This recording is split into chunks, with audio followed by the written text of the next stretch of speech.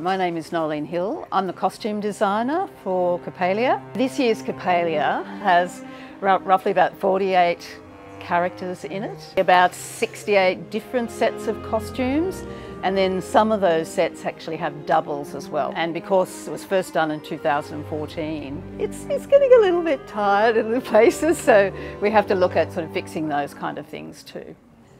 This is a tutu for Coppelia doll. None of the other costumes are like it really um, and it has to be constructed so that it fits the dancer like a glove but also enables them to move and be lifted. This tutu is sort of like traditional style tutu. Underneath you see that there's multiple layers of varying lengths of stiff net. Then we have a decorative overlay over the top of the net skirt. Greg Horsman's Coppelia is set in Hahndorf in 1878.